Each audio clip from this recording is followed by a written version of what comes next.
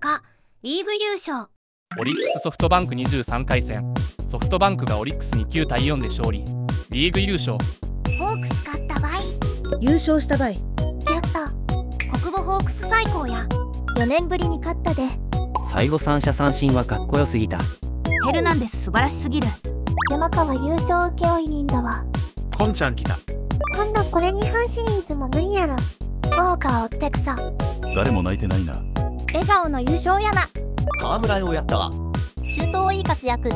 柳町よかった。オリックス負けました。乾杯。ソフトバンクは京セラドームで胴上げ多いな。優勝ってこんな感じだったか。3連覇したことで心の余裕を持って胴上げ見られたわ。ソフトバンク先発石川。5.2回4失点。石川はピリッとせんな。石川はやっぱあかんの地球出してホームランは印象最悪だぞ石川オリックス先発才木3.2回4失点。佐伯頑張ってたのに。佐伯は左打者に弱すぎるな。佐伯もうちょいスタミナないときついな。オリックスリリーフムクノキ1.1回3失点。ムクノキはこんか。ムクノキはなんかダメだな。案の定無垢のきついをしてない。オリックスリリーフ佐藤。1回2失点。佐藤はフィールディングでまたえら佐藤は前もやらかしてたな。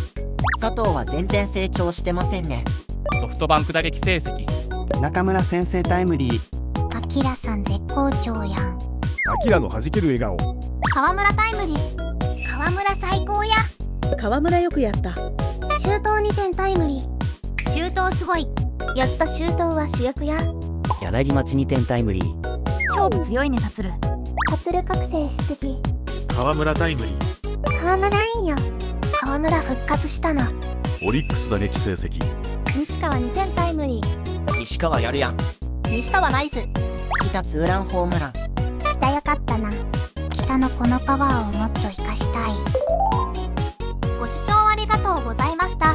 話題の野球情報をお届けしていますのでチャンネル登録をよろしくお願いします